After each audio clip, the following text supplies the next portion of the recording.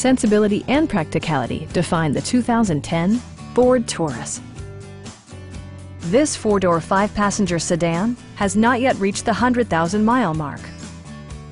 A 3.5-liter V6 engine pairs with a sophisticated six-speed automatic transmission, and for added security, Dynamic Stability Control supplements the drivetrain. It's equipped with tons of terrific amenities, but it won't break your budget. Like leather upholstery, front and rear reading lights, a built-in garage door transmitter, a trip computer, an automatic dimming rear view mirror, an outside temperature display, and power seats.